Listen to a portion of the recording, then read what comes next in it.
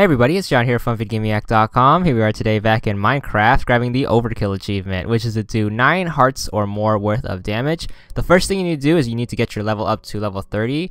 There are many ways to do this, but the easiest is probably to mine materials.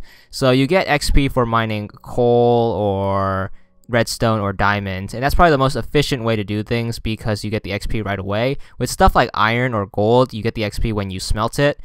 And the next step you need to do is to get some leather, some sugar cane, and some wood so you can build bookshelves to improve your enchanting table. So what you want to do is you want to have 45 pieces of leather, about 150 pieces of sugar cane, and about 90 wooden planks. You want to turn your sugar cane into paper, and then you want to combine your paper with your leather to get books, and then you want to combine your books into wood to get bookshelves. And once you have the bookshelves, you want to place them around your enchanting table. That will make sure your enchanting table is at its max power. The max is 15. So you want to place it at a one block radius around your enchanting table. And you can do this for two layers.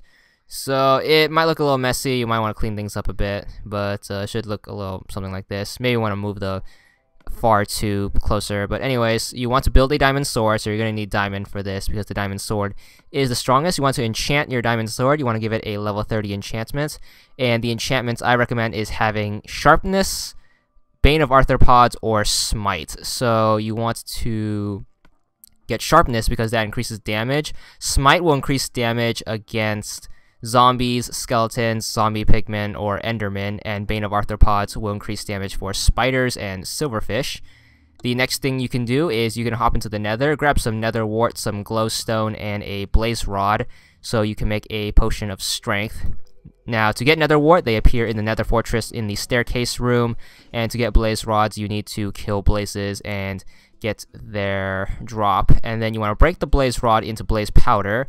Then what you want to do is you want to grab a water bottle, fill it with water, and you want to run over to your potion stand. You want to brew the nether wart into the water bottle to make a base potion. Then you want to add the blaze powder to get a potion of strength. And if you happen to find glowstone along the way, you can also add that into the mix to get a potion of strength level 2.